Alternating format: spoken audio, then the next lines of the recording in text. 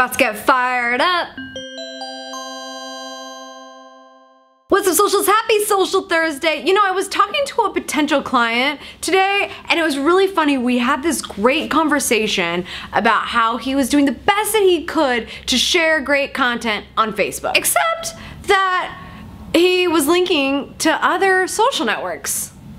So I know this sounds really like, oh, well, why not? But the reality is, we're not on social networks so that they can bring us more social activity on other networks. We're on social networks so that we can build a brand, so that we can build our own brand presence, so we can build our own online entities, so we can build our own thought leadership, not to give traffic to other websites that we don't own. And I just thought this is a great teaching point. I had to share this with you guys today because this is really a big misconception. We're getting more likes so we can get more followers, so we can follow me on Twitter and then follow me on Facebook and do all those things because I need everybody else to think I'm cool, and the only way for that to happen is if you go do all those things. Guess what?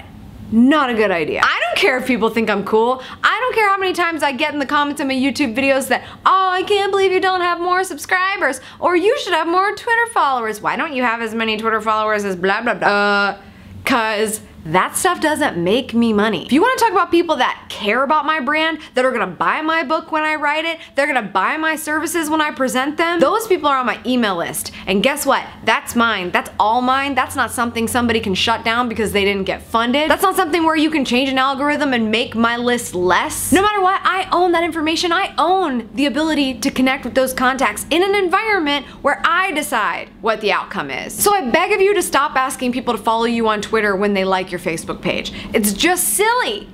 Don't you have better things for them to do? Like buy your stuff? Think more about how these platforms are a funnel for you. They're getting to know you. What's the next step after getting to know you? Maybe date number four, where you're kind of going to like round the bases a little bit. What part of the process is that for you? Does that mean that they're subscribed to your email list? Then get them there. You need to get them somewhere where they're more committed to the conversation with you and more about your brand and not distracted by all the shiny things. Take advantage of social for what it was built for. Building relationships and then getting them off the social network to where you hang out most of the time on your online entities. That's all for today's socials. Thank you so much for tuning in. I appreciate it as always. Make sure you sign up for Amy's Elite so you don't miss a beat because that's where we start rounding the bases. Mm-hmm, that's right. Hey, and if you missed the webinar this week that I was doing, there's still one more left on Monday.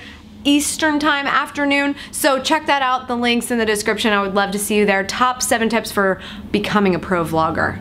It's been popular. People are loving it you better be there. Anyway, I'll see you guys tomorrow on iTunes and Stitcher for the Marketing Lifestyle Show. We have a new episode coming out with my favorite guy, Chris Cerrone from The Cerrone Show. And then of course back on the YouTube channel next week for Savvy Tuesday. See you then.